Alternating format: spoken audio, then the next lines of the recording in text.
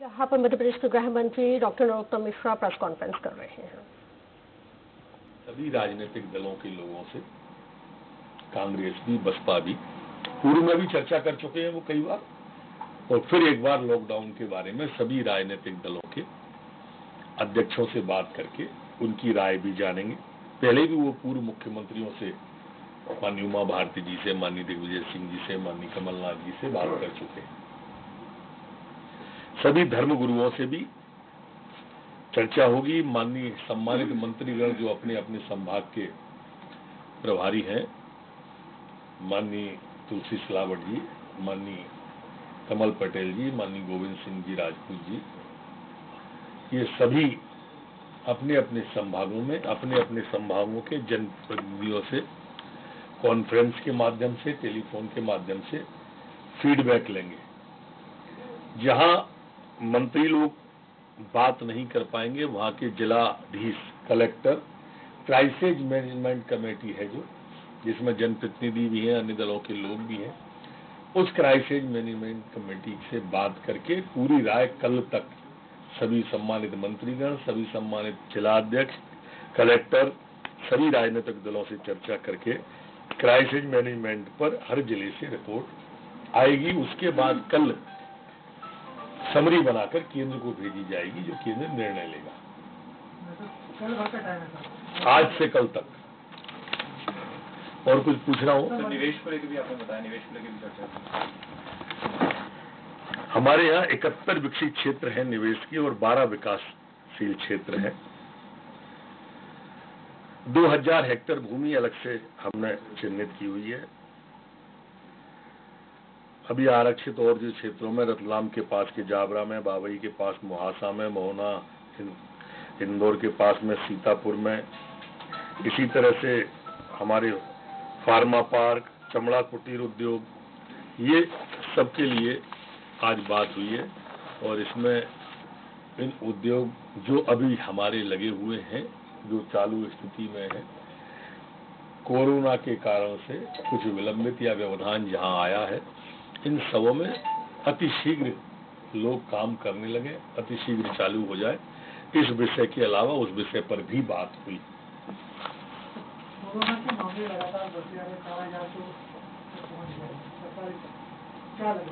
तो दे ये एक बात हम सबके ध्यान में रहना चाहिए कि कोई भी दुखद मौत कोरोना कोरोना से न हो इसके लिए लगातार प्रयास जारी है।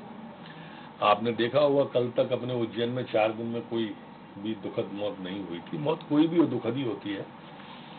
क्योंकि बाहर से लेबर आ रही है, हमारे मजदूर भाई आ रहे हैं, श्रमिक आ रहे हैं तो स्वाभाविक रूप से इसमें घटना बढ़ना जारी रहेगा। लेकिन आप ये तो मानते होंगे कि मध्य प्रदेश में कोरोना जैसे रोग से ठीक होने वालों में प्रतिशत हमारा काफ़ी ऊपर है 40 परसेंट के ऊपर। हमारा रेशियो है जो अपने आप में रिकॉर्ड है। क्योंकि लेबर इतनी बड़ी संख्या में आ रही है और हमारा मध्य प्रदेश मध्य में है, ये सभी प्रदेशों से घिरा है। महाराष्ट्र की भी लेबर चलती है तो पूरे मध्य प्रदेश को क्रॉस होकर दतिया पे खड़ी होती है और वहाँ से यूपी में प्रवेश करती है वो दतिया से। मैं डेढ़ महीने से उससे यूपी की लेबर बिहार की लेबर निकलती वहीं से तो हम डेढ़ महीने से देख रहे हैं। पर माई की कृपा से हमारा दतिया भी बचा है, लेकिन ये लेबर जहाँ भी रुकती है या लेवल हमारे मध्य प्रदेश की लौट के जिन गाँव में जाती है, उन गाँव में ये दिक्कत तो स्वाभाविक रूप से आती ही है। अब आप कल्पना करें, आज महाराष्ट्र से सौ बसें आ रही हैं। कितनी? सौ बसें। अभी नौ ट्रेनें आ रही हैं मध्य प्रदेश सौ बसें हमारी यूपी से भर के मध्य प्रदेश आ रही हैं। आज, कल नहीं कह रहा मैं, ये आज आज की आपको बता रहा हूँ। इसी तरह से गुजरात से बसें आ रही हैं। अब चारों तरफ़ से जब लेबर किया गया हालाँकि सरकार ने पूरा उनके एग्जामिन करने के लिए, उनकी जाँच करने के लिए सारे बंदोबस्त किए। पर फिर भी पैदल चल देते हैं, वो अपने साधनों से चल देते हैं, ट्रक से चल। आप एक बार मेरा निवेदन है, हाईवे जाके तो देखो। आप ऐसे जाओगे दतिया यहाँ बाईपास भरा पड़े हुए सारे, पर स्वाभाविक रूप से घर पे तो आएँगे वो। वातावरण जिस तरह का बना, उससे एक बात तो प्रतीत हुई कि ये वातावरण इस तरह का है कि लोग घर तो जाएँगे। और घर जाएँगे तो निकलेंगे तो मध्य प्रदेश से आसपास के आठ प्रदेश इतने सारे प्रदेशों से घिरा हुआ है। तो ग्रामीण इलाकों में स्वास्थ्य को भी कुछ विशेष कदम उठा रहे हैं ये हमने वैसे तो ग्रामीण इतने जागरूक हो गए कई जगह तो उनने खुद नहीं बैरिकेड्स लगा दिए। वो ही बाहर स्कूल में रोक देते हैं। इसलिए वो चलता रहेगा आप पहले कैमरे को देख सकते अब जो पूछते जा रहे हो वो बोलता जाऊँगा मेरी तो कोई गलती है नहीं आप उनको आज पीछे गुजर मुँह करो उनसे कहो। जारी नहीं हो पा रहे हैं आप फ़ोन नहीं उठ रही है। नहीं फ़ोन के लिए देखो आप वो मैंने भी पढ़ा समाचार।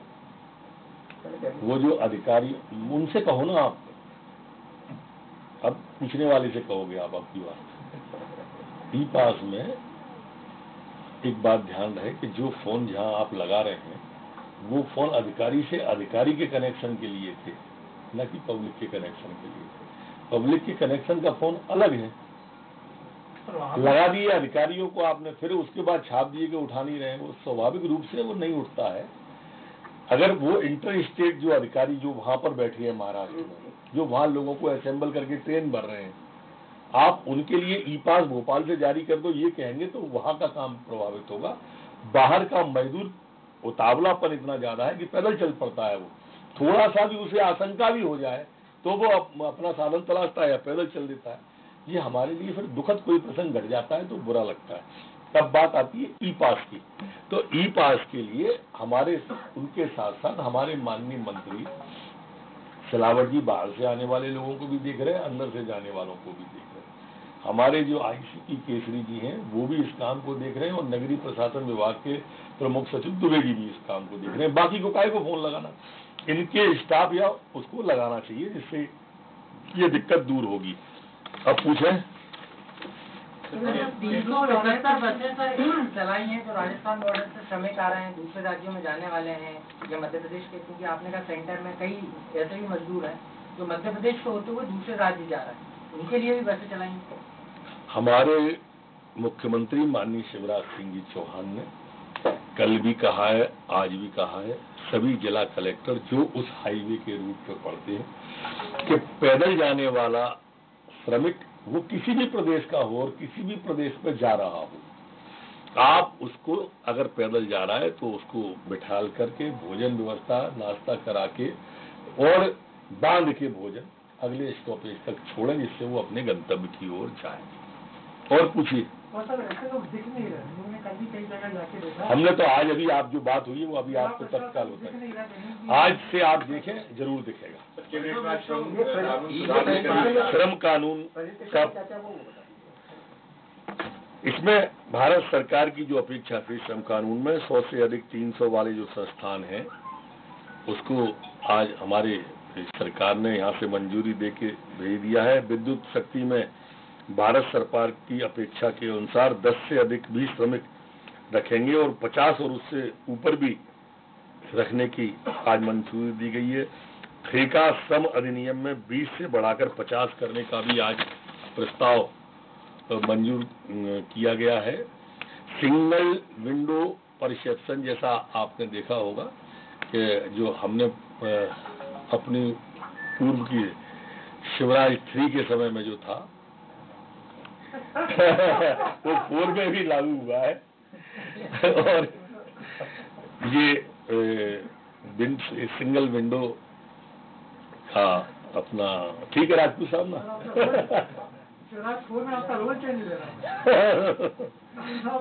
आपने देखा ध्यान से है। रोल तो यही चल रहा है। ये कंपाउंडिंग वाला भी हमने इसमें डाला है श्रम सुधार में। पहले सीधा मामला कोर्ट में चला जाता था। अब ऐसा नहीं कंपाउंडिंग में अब जो छोटे छोटे मामले होते हैं, जिसमें जुर्माना से ही निबट सकता है या छोटी चीज़ में ही हल हो सकता है तो अब वो कंपाउंडिंग के माध्यम से उसको पहले ही निपटा लिया जाएगा। न्यायालय में सीधा नहीं जाएगा। पहले लेबर इंस्पेक्टर वाले बहुत परेशान करते थे, अब ऐसा नहीं है। अब हमने इसके लिए एक अलग से वो किया है कि कोई इंस्पेक्टर अब सीधा नहीं जा सकेगा। कमिश्नर को, लेबर कमिश्नर को अब वो अधिकार दिए हैं। कि वो अलग से एक इंस्पेक्शन के लिए व्यक्ति भेजेगा, जो इसके ऊपर से होगा, गलती करने पर उसको सजा मिलेगी। ऑनलाइन रजिस्ट्रेशन की बात भी इसमें मानी गई है। कारखाना अधिनियम 1948 की धारा पाँच के तहत प्रदत्त शक्तियों को प्रयोग में लाते हुए कारखाने में कार्य की अवधि आठ घंटे से बढ़ाकर बारह घंटे, जो आप सबके संज्ञान में पहले आ चुकी है। आज उसका विधिवत कैबिनेट में प्रेजेंटेशन भी हो लिया है। इसी 24 अप्रैल 2020 के नाम से जाना जाएगा। दुकानों के बारे में आप सबके ध्यान में आ गया सुबह छह बजे से रात के बारह बजे तक दुकान खुलेंगी और बीच में कोई भी इन सबको रोक नहीं सकता है। और कुछ पूछना है इससे ज़्यादा चलाओगे नहीं ना आप? टाइम बड़ा है सर आठ से बारह घंटे उनको एक्स्ट्रा कुछ चार्ज दिया जाएगा। बिल्कुल बिल्कुल मिलेगा सभी को एक्स्ट्रा ही मिलेगा इसीलिए बढ़ाया है। दुकान तो सब आज से लागू हो गया आज से। और ये और उद्योगों के बारे पूछो। में उद्योगों के बारे में और मंडी अधिनियम के बारे में बता दो दिए मैंने यार। मंडी अधिनियम में सौदा पत्रक के माध्यम से कोई भी व्यापारी किसी भी किसान के खेत पे या घर पर जाकर उसकी फ़सल की खरीद सकता है। अगर सौदा उसका पड़ता है तो मतलब किसान सहमत होता है, व्यापारी दोनों सहमत होते हैं तो। मंडी स्वयं भी चालू रहेगी, ऐसा कोई भ्रम न फैलाए कि मंडी बंद हो जाएगी।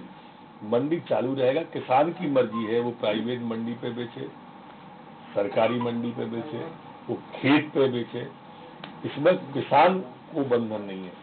किसी भी व्यापारी के हितों के साथ में या किसान के हितों के साथ में इसमें कोई खिलवाड़ नहीं किया गया है। थोड़े से सुधार आ जाएँगे, फ़ायदा हो जाएगा। जैसे पहले सब्जियों पे आठ परसेंट वो लगता था, कमीशन। अब इससे वो बचा जाएगा। किसान की फ़सल जो है ना, ताजी, उसको दिक्कत नहीं आएगी। कोई भी व्यक्ति, चाहे वो किसान हो या व्यापारी, खुद की निजी मंडी भी खोल सकता है वो। मंडी समिति रहेगी। एक ये भी भ्रम आया था कि कृषि उपज मंडी समिति के चुनाव हुए थे, डायरेक्टर बनते थे, अध्यक्ष, उपाध्यक्ष बनते थे, वो समाप्त हो जाएँगे, ऐसा नहीं है। विधिवत चुनाव होंगे और डायरेक्टर भी बनेंगे और उनके अधिकार भी यथावत रहेंगे मंडी प्रांगण क्षेत्र के। ये विषय थे मुख्य मुख्य। आप लोग कहो तो भोजन कर लूँ।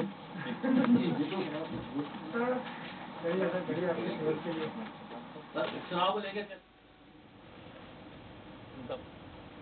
तो गृह मंत्री doctor Narottam Mishra press conference कर रहे थे, पत्रकारों से मुखातिब हुए, जानकारी दे रहे थे कि किस तरह से जो प्रवासी मजदूर हैं, उनको उनके गंतव्य तक पहुँचाया जाएगा, जो कुछ भी इस कोरोना काल में जो कुछ, जिस तरह से ये संकटों का सामना लोगों को करना पड़ रहा है, किस तरह से राज्य सरकार के द्वारा क्या कुछ सुविधाएँ संचालित की जा रही हैं और दी जा रही हैं, किस तरह से रिबेट दी जाएगी और कौन, कितनी जो ज़रूरी दुकानें हैं वो किस वक्त खुलेंगी तमाम चीज़ों की जानकारी देते हुए। सागर में कोरोना पॉजिटिव मरीज़ मिलने की वजह से अब प्रशासन भी अलर्ट हो गया है और सागर की नरियावली विधानसभा क्षेत्र से 11 लोगों को बीवी बीजी अस्पताल भेजा गया है, जहाँ कलेक्टर एसपी ने क्वारंटीन और पाँच के आदेश, पाँच लोगों को क्वारंटीन किए जाने के आदेश दिए हैं। पॉजिटिव मरीज़ के साथ शराब लेने गए, दोस्त भी क्वारंटीन किए गए हैं। साथ ही जरुआ खेड़ा में भी तीन लोगों की थर्मल स्कैनिंग की गई।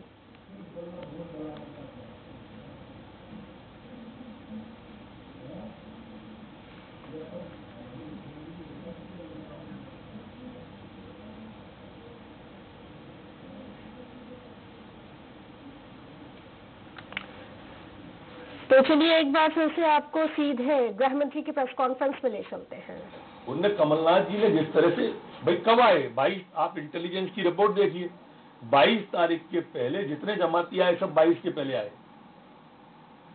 उसके बाद तो तेईस को माननीय शिवराज जी ने शपथ ली। रात को नौ बजे शपथ ली और दस बजे बल्लभ भवन में बैठक प्रारंभ हो गई। उसके पहले मुख्यमंत्री ने एक भी कोरोना की बैठक ही नहीं ली। ये मैं जितनी बात कर रहा हूँ रिकॉर्ड की बात कर रहा हूँ। कौन? ये रिकॉर्ड की मैं मैं जो बात कर रहा हूँ रिकॉर्ड की बात कर रहा हूँ और आप सब लोग बहुत जागरूक लोग हैं। प्रजातंत्र के चौथे स्तंभ हैं। ये आप रिपोर्ट नेट पे जाके या सूचना के उसमें जाके आप निकलवा सकते हो।